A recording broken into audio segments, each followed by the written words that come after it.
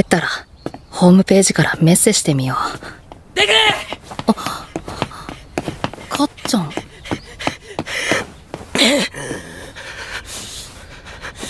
俺は、てめえに助けを求めてなんかねえぞ。助けられてもねえ。あなあ！一人でやれたんだ。無個性の出来損ないが見下すんじゃねえぞ。おんうろうってか。見下すなよ俺をフネス。かっちゃんの言う通りだ。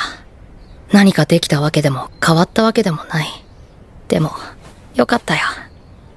これでちゃんと身の丈に合った将来を。私が来たオールマイト？なんでここに？さっきまで取材陣に囲まれて。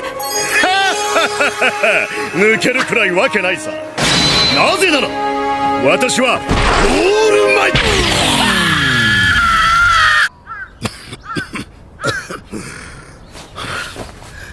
少年霊と訂正。そして提案をしに来たんだ。え？君がいなければ君の身の上を聞いていなければ口先だけの偽金となるところだった。ありがとう。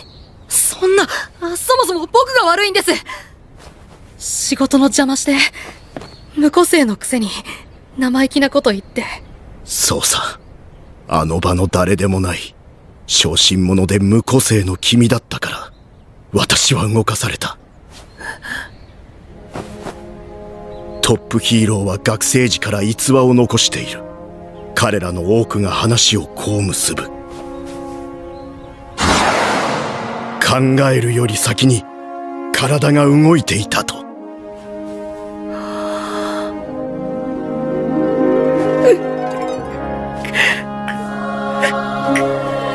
僕はなぜか、母の言葉を思い出していた。ごめんね、イサクごめんね。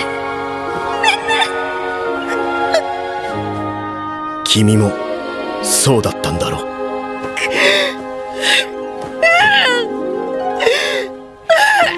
違うんだお母さん。あの時、僕が言って欲しかったのは、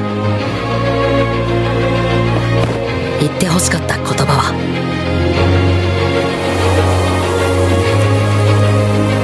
君はヒーローになれる